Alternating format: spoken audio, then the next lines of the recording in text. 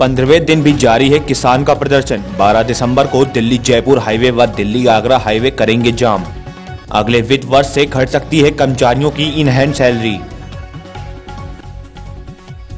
आज सैतीस सीटों के लिए हो रहा है मतदान। अमन खुशहाली के लिए वोट डालने पहुँचे ग्रामीण।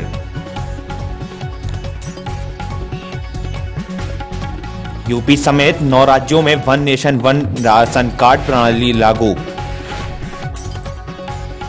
हिमाचल प्रदेश टीईटी परीक्षा के लिए एडमिट कार्ड जारी।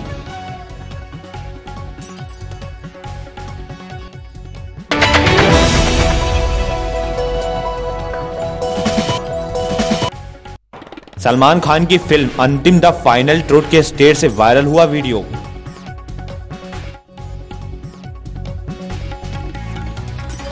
दूसरी कक्षा तक कोई होमवर्क नहीं दिया जाएगा। एलॉन मुस्क के मंगल ग्रह जाने के सपने को झटका। कल रिकॉर्ड स्तर पर पहुँचने के बाद आज बाज़ार में गिरावट, सेंसेक्स छियालीस हज़ार से नीचे खुला।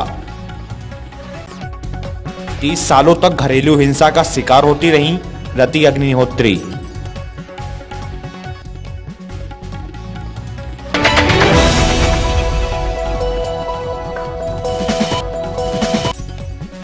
डेजी साहब मालदीव में मना रही हैं वेकेशन बिकनी में तस्वीर हुई viral top ten selling smartphone की लिस्ट में नवे पर सोमी का कब्जा।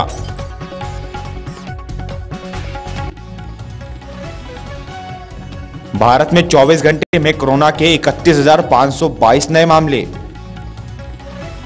मारुति सुजुकी की कारें 1 जनवरी से हो जाएँगी महँगी।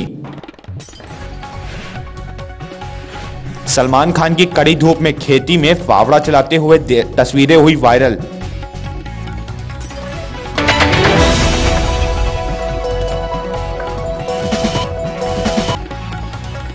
लव जिहाद कानून का विरोध करने वालों पर भड़की कंगना रानौत।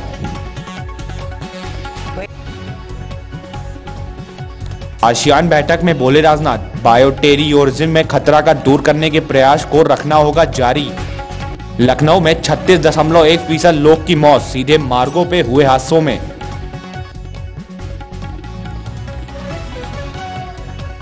दिल्ली में लोगों का झंझट खत्म, अब घर बैठे मिल जाएँगे डीटीसी बस पास।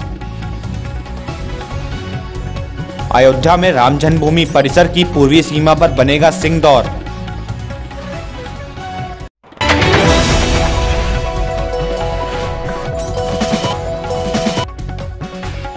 ठहरे पानी में 10 दिन तक जीवित रह सकता है कोरोना वायरस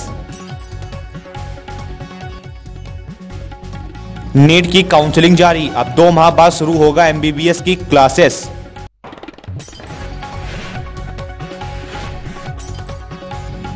साइबर अटैक में फाइजर बायोटेक की कोरोना वैक्सीन के डॉक्यूमेंट्स हैक। कोरोना काल में भारत में आने के लिए नेपाल फर्जी तरीके से बना रहे हैं भारतीय आधार कार्ड। लाहौर रैली में इमरान खान सरकार परेशान, विपक्ष ने कहा इस बार होगी आर पार की लड़ाई।